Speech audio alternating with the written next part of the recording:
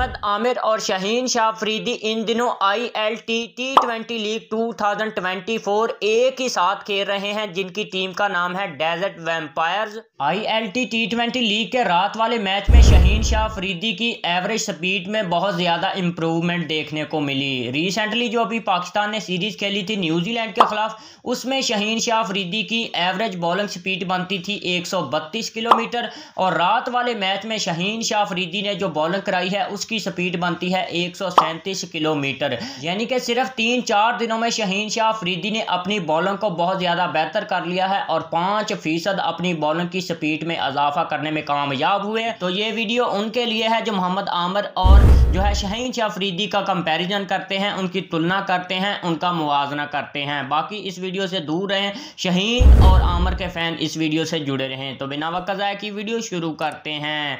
I T L D P world T twenty international league 2024 जिसकी desert vampires team में आपने दो पाकिस्तानी शेर, यानी कि मोहम्मद आमर और शहीन शाह अफरीदी को एक ही साथ बॉलिंग कराते हुए देख लिया है। जी हाँ दोस्तों, रात वाले मैच में शहीन शाह अफरीदी की अगर बॉलिंग की बात की जाए तो शहीन शाह अफरीदी ने रात वाले मैच में चार ओवरों में सिर्फ़ बाईस रन देकर तीन विकटें हासिल की हैं। और अगर उनकी इकॉनमी की बात की जाए तो पाँच इशारिया अड़तालीस की बनती है।